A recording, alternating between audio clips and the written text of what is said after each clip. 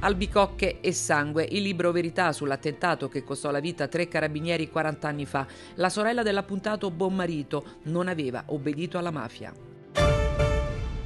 Il 13 giugno del 1983 a Monreale, in Sicilia, vennero uccisi tre carabinieri. L'appuntato Bonmarito era tra questi. Dopo molti anni, grazie alla tenacia della sorella Francesca, si è giunti alla verità. Fu un attentato di mano mafiosa. L'inviato Stefano Fumagalli.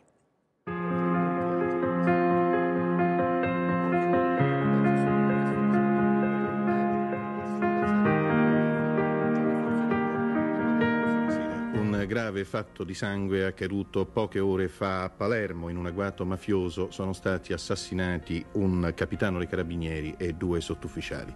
L'ufficiale si chiamava Mario Aleo e aveva 29 anni. Con lui sono stati uccisi l'appuntato Giuseppe Bomarito e il carabiniere semplice Pietro Morici.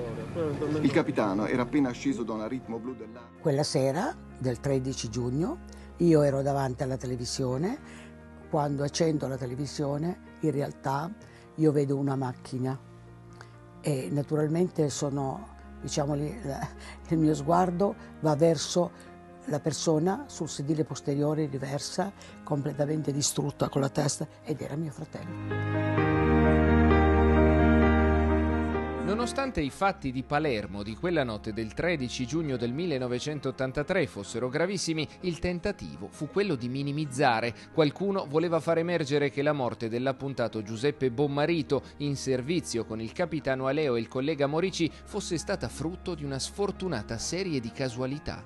Dalla caserma di Monreale subito sento che mio fratello è morto per caso quella sera non doveva esserci perché tanto l'autista che mancava già da 15 giorni era arrivato da due giorni, quindi poteva andarci benissimo l'autista. È morto per caso. Lei però non ci crede. Non ci credo perché soltanto mio fratello l'avevano ucciso con la lupara.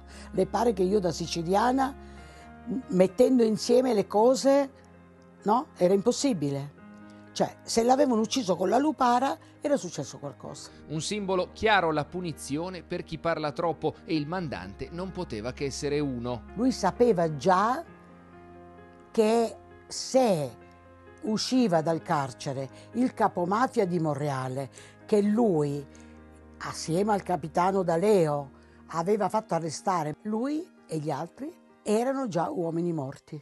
Una verità svelata però soltanto molti anni dopo, anche grazie alle ricerche della sorella di Giuseppe, Francesca, che scopre come sono andate davvero le cose quella notte. È stato un attentato preparato già da tempo, addirittura i collaboratori di giustizia diranno poi che un mese prima avevano preparato ognuno le proprie armi perché dovevano uccidere un capitano. In realtà nel mirino della mafia era il graduato, che per loro il graduato era mio fratello, perché invitato a tacere non ha obbedito. A Monreale, solo tre anni prima, la mafia aveva ucciso un altro capitano, Emanuele Basile, e quando Bonmarito, per una serie di circostanze, aveva visto in faccia i volti dei mafiosi locali riuniti in un luogo segreto, nonostante le minacce decide di non tacere, farà rapporto ai superiori e svelerà i nomi di tutti. In pratica quella relazione di servizio diventa per suo fratello una condanna a morte. Assolutamente.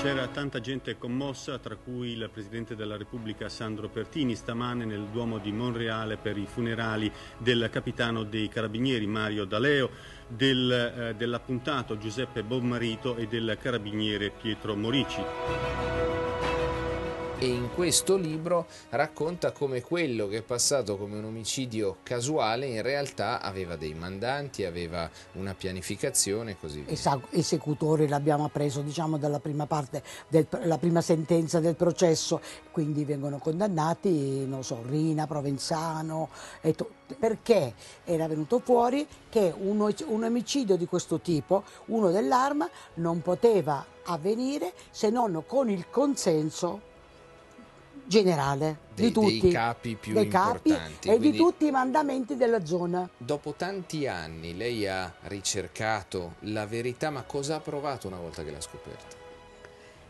ma ho pianto. È come se mi fossi liberata di tutta questa tensione che aveva addosso.